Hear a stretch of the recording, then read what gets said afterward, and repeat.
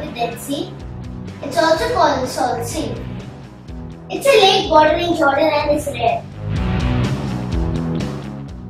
The Dead Sea is over 8.5 times saltier than even the ocean. Its shores are 1,388 feet below sea level, making it the lowest point on land. Why do we call it the Dead Sea? The high amount of salt makes it difficult for animals to survive here. Jen, did you know salt makes it easier for us to float on water? Let's show how adding salt to water increases the buoyancy. Buoyancy is the upward force that is exerted by the liquid on an object. All you need is a glass of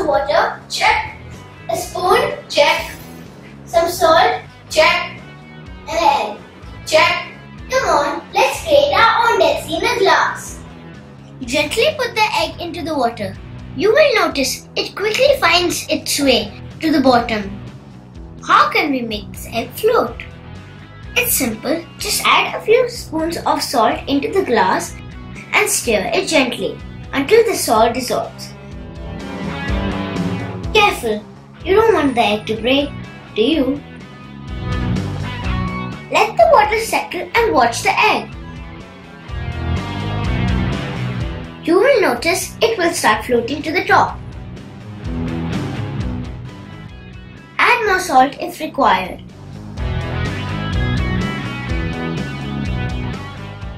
The more salt you add, the more the egg will float.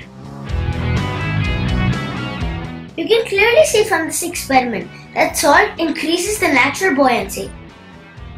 This is why it is easy to float on the Dead Sea. Isn't this cool? soon. Until then, bye and be